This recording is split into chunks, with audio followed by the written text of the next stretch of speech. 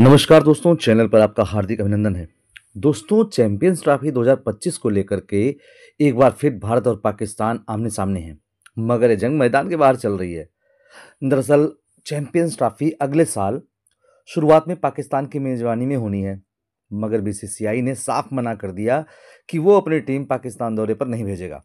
इस फैसले से पाकिस्तान क्रिकेट बोर्ड, जो पीसीबी है, पूरी तरह से बौखला गया है दोस्तों।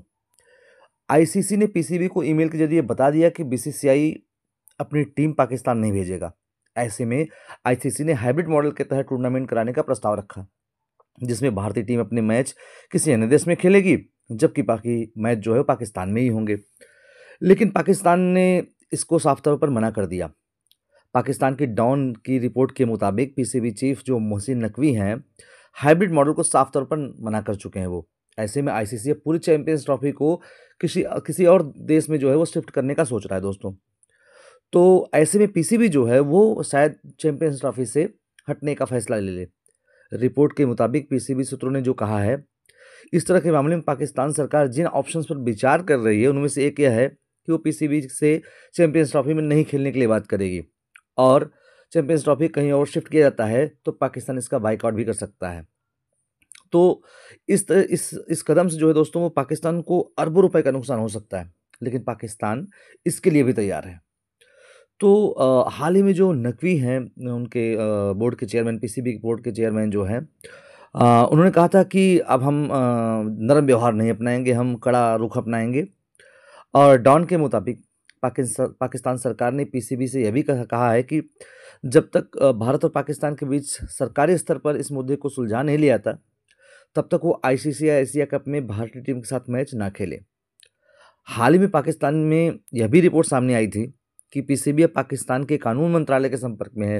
वो लीगल ऑप्शंस पर विचार कर सकते हैं, कर रहे हैं कि इसको जो इंडिया को जो है वो लीगली कैसे कोर्ट में ले आ सकते हैं। जो court of arbitration for sports जो होती है सीएस उसमें। तो दोस्तों, पाकिस्तान उन सब ऑप्शंस पर विचार कर रहा है कि इंडिया को कैसे हम परेशान कर सकते हैं या इस मैटर पर हम इंडिया को कैसे कोर्ट ऑफ़ एडमिनिस्ट्रेशन में ले ले जा सकते हैं।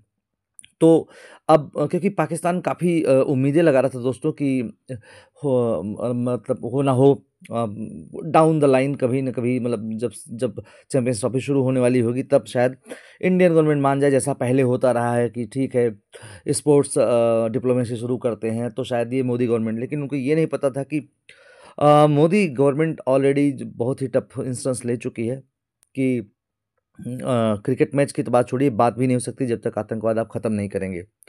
और ये पाकिस्तान के लिए बड़ा बैक स्लैश रहा है। तो अब पाकिस्तान क्या करता है? क्या वो कोर्ट जाएगा? क्या वो हाइब्रिड मॉडल पर एग्री करेगा?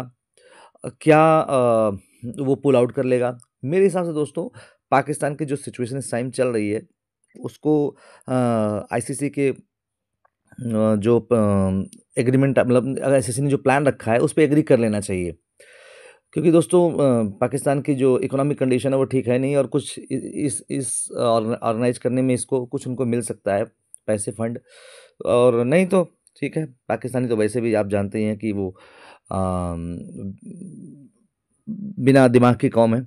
वो कूद के मरने के लिए या वो वही बेल्ट बाँध के अपने आप को लाने के लिए तो फ़ेमस सही है दोस्तों। तो वैसा वो शायद क्रिकेट में भी डिसीज़न है।